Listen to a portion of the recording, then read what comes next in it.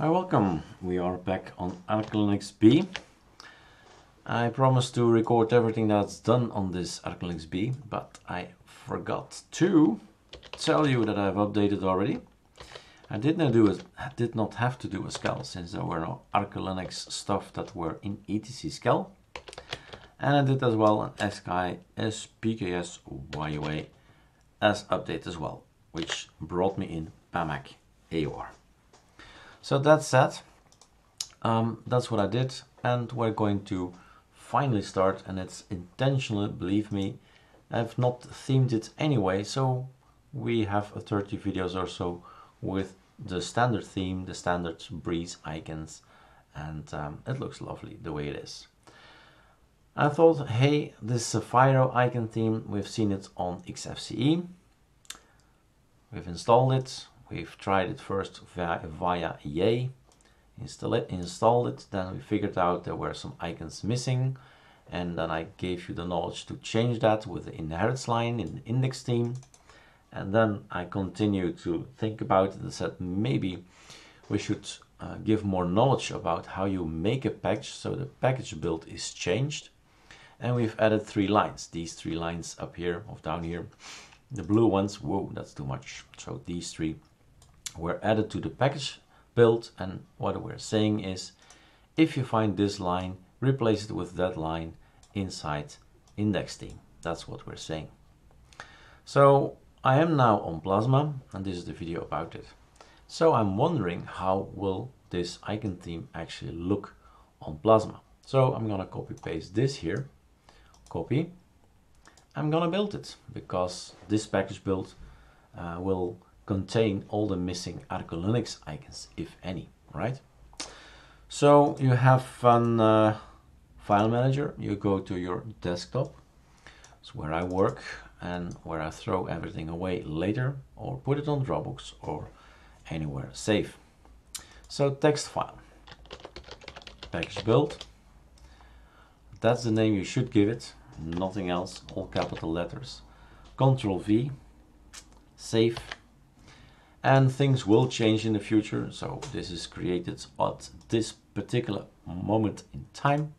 The versions will go up, the checksums will change, maybe uh, more things will change. So you need to be inventive and check what changed. Meld is the application to do that. Then you go to Actions, Open Terminal here, make package, and that's what it, this uh, thing does. It makes your package. But you need to have a package build and all in capital letters. So what it did was create not exactly the Zafiro icon theme, but a variant of it. It has now, because of the package build, changed a few lines. In here, you'll see that it says now Surfn Numix Circle Breeze GNOME High Color. So if the icon is not there, Zafiro does not have the icon, He'll look at the Surfn. If it's there, he'll show it. If it's not there, take a look at Numix Circle and so on and so on and so on, right? So hopefully we have an icon at the end of this long search, this inherits line. So basically, um, that's that. If you want to keep things for later, I suggest you keep these two guys. So these two guys, we've done a tutorial now, so we're gonna cut it here and put it on our Dropbox. We have a specific Dropbox, we created it. Oh, it's already, sorry, I, all, I just launched it. I just want to open, of course, my Dropbox, not launch it, it was already launched. And this has also Zafiro, so the last time we've already put it there, so that's fine. So it's gonna be exactly the same thing there. Just to be sure, let's see. Yeah, okay, so that's okay. So now the time is there to just say, let's change. What you need to know about icons and themes is that, and that's a little bit frustrating for an icon builder as myself, that if you change your icons in system settings here, that you can have issues in the sense that when you select an icon theme, it often happens that icons stay the same, that icons some of them are okay and some of them are still the old icon set you chose and so on. So it's the best thing is just, yeah, I know, reboot, right? Or log out, log in as a minor um, exercise, but you should do something. Now, Surfn is here, but Zafiro should be somewhere down there. So we still need to install it, this card. So back to my Dropbox.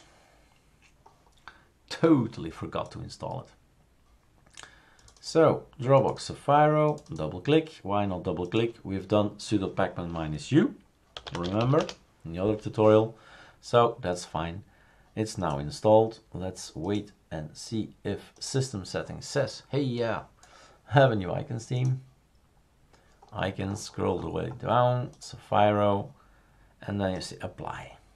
Now this apply, as you see, nothing is applied. Everything stays here the same. Close the program, close the application. This has changed already. Good. Then you go on and you say, okay, some of them look a bit bizarre, but hey, that's because it's never probably intended to be installed on Plasma anyway, you know. Computer, this is still Plasma, Plasma, these are new guys. History, blank, yeah. Things that are looking like that, leave, all right.